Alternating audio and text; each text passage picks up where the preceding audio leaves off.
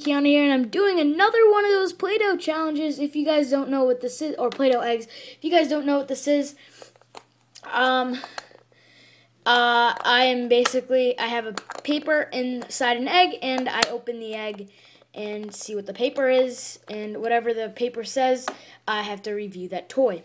Um, my mom put these in the egg, so I don't know what they are, but the remaining two eggs left is the lemon slash golden carrot, and the Mohawk Frog. So today we will be doing the golden carrot slash lemon.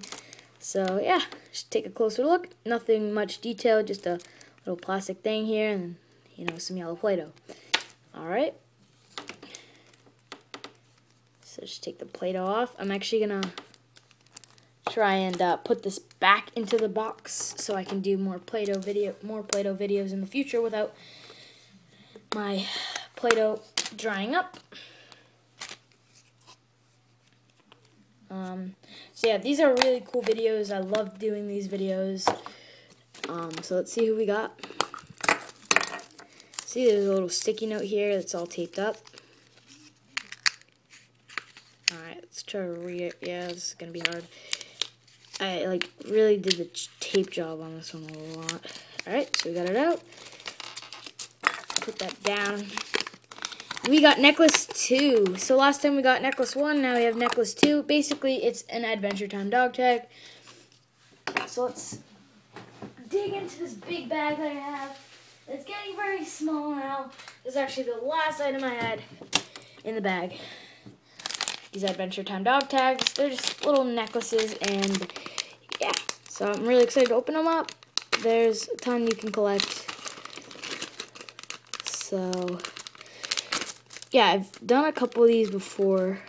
This paper is tearing terribly. Um, I'm just gonna rip the thing because I have plenty of them. Alright, let's see who we get. We got Cake! Yes, this one looks awesome. It looks so fat and chubby. It's so cute. So Cake is number 12. And this is basically a cat form of Jake, if you guys didn't know. And it looks really cool. Um, these are the other ones that you can collect. I got number 12, Cake. So this goes very cool. Getting a diverse color palette, which is nice because they match with something that I wear. And um, yeah, so I got Ice King last time. I got this cake. And um, before that, in one of early videos, I got a Wildberry Princess.